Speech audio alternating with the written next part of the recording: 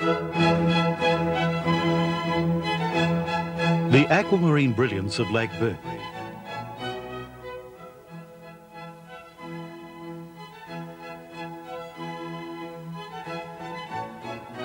The imposing concrete edifice of Crotty Dam.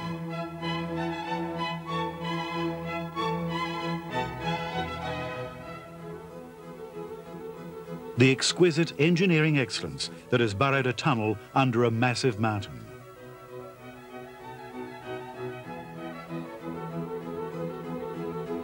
and a power station named after one of Tasmania's pioneers.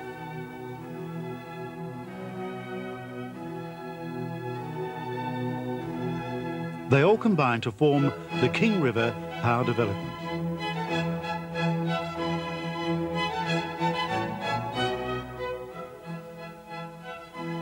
Its home is Tasmania's west coast, where the roaring forties bring rain in generous quantities, rain which, through the irresistible meld of modern engineering skill and plain, old-fashioned hard yakka, can be channelled into producing clean electricity. Tasmania's Hydroelectric Commission has built an international reputation for such schemes over 78 years of operation. Together with the Anthony Power Scheme, a little further north, the King River Power Development marks the end of an era for the state and for its hydro.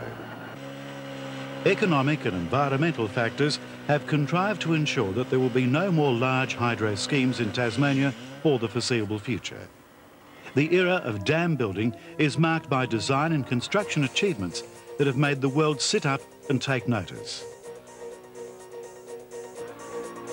As a final, enduring symbol of these, the Crotty Dam is the first concrete-faced rock-fill dam to have a spillway on its downstream face. That piece of jargon rolls off the engineer's tongue as smoothly as water will flow down the spillway. However, constructing power developments is considerably more than engineering jargon. It's about brave women and men who work in the harshest developments. It's about people thrown together in communities who build a comradeship that will last long after the construction town with its transportable buildings and makeshift infrastructure has been reclaimed by the wilderness. It's about doing something that will benefit thousands of Australians for decades to come. It's about the King River Power Development.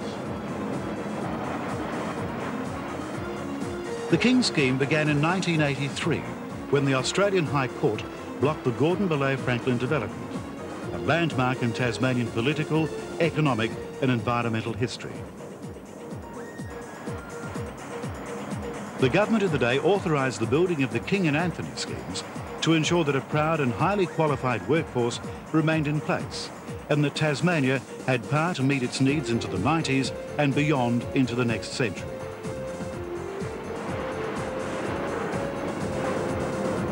The area in which the scheme was to be built already had a long history of contributing to the economic welfare of Tasmania. The King River environs and nearby Queenstown have a rich mining history, stretching as far back as 1860, when the area was struck by gold fever. Part of that history is James Crotty, an Irishman with a reputation for being a rogue and a scholar. He developed the town of Crotty, which the azure waters of Lake Burbury now cover.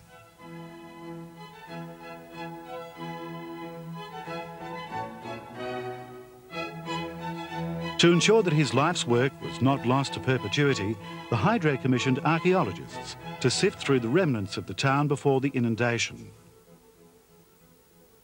The survey was undertaken as part of the environmental work in the valley and uh, before the flooding occurs, and there's European historic sites and Aboriginal prehistoric sites here and it was important to document them before the uh, flooding occurred.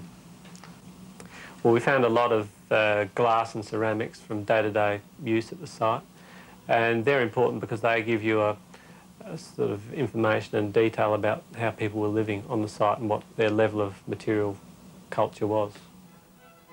The Hydro also paid great respect to the Aboriginal heritage of the area, to be covered by Lake Burbury. The West Australian archaeologist, Kelmara Pocock, led a team to the west coast to study the lifestyle of the Aboriginal peoples, who frequented the area as far back as 40,000 years ago.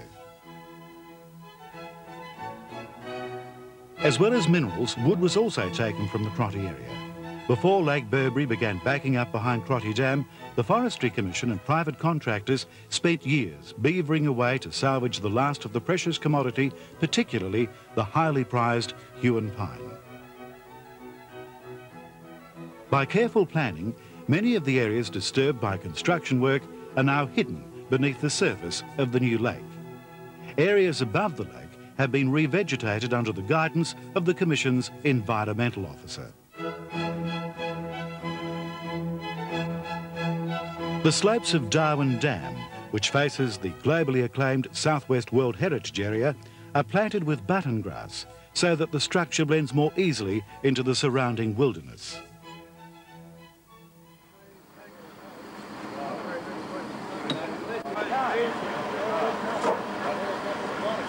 The race to plug the tunnel in time to catch the winter rains was eventually won by a determined hydro workforce, but only just.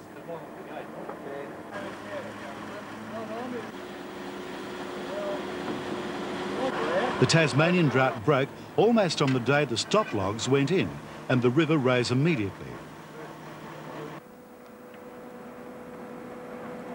Another day and that deluge would have been too great to allow the diversion tunnel to be closed for another month or two.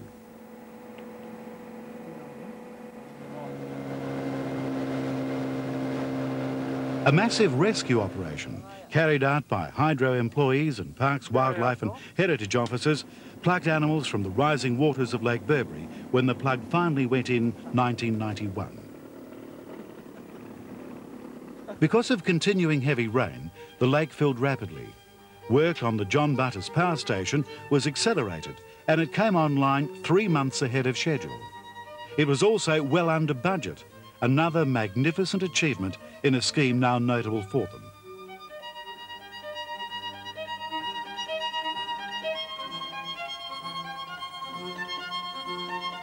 Tourists are another group to benefit from the King scheme. The Mount Jukes Road runs through some of the most spectacular scenery in Tasmania, looking back across the wilderness to such landmarks as Frenchman's Cap.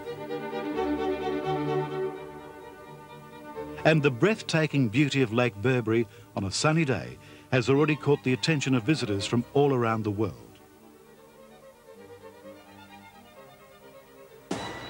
Thousands of Tasmanians have worked to create the King River Power Development. They endured the cold and wet to drive a tunnel through Mount Jukes to raise the face of the Crotty Dam and the smaller Darwin Dam. They reshaped the Lyell Highway and helped build the spectacular Bradshaw Bridge, named after another West Coast pioneer, Cliff Bradshaw. And they've created a world-class scheme that will provide up to 35,000 typical all-electric homes with energy. Here's what a few of them had to say about the experience they will remember and draw satisfaction from for the rest of their lives. When we first started in the tunnel, it was um, we had the ground conditions were pretty bad, and that blocky ground and that. We had to put timber sets in and steel liners. But as we've um, got further underground, it's tightened up a bit now. The ground, it's really good. I've been here 12 months, and it's a pretty good job. Yeah, it's great. Cold, wet. oh, she's marvellous. working the fine weather when the road's dry. Otherwise, I'd be out in the bush. Rains, rain, hail or shine. She's great. We've moved, since the start, we've moved about 200 tonne, 200,000 uh, tonne of rock. Um, we have roughly 100 to 125 people involved in the actual running of the of the tunnels. That's the, the miners and the fitters and the electricians and uh, surveyors and everybody else involved. Uh, is about that order of people. In 1992, the efforts of the Hydro's engineers and construction workforce are just about complete. The Crotty Dam is finished, standing 80 metres tall. Lake Burbury spreads out regally across its 53 square kilometres.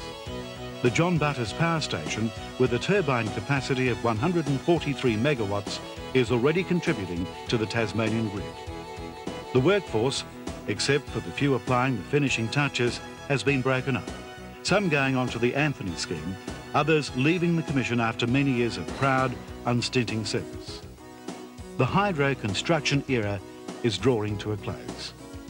The King River Power Development will stand as a grand memorial to that era, to a time when Tasmanians brought new dimensions to many skills required to build power schemes in remote areas.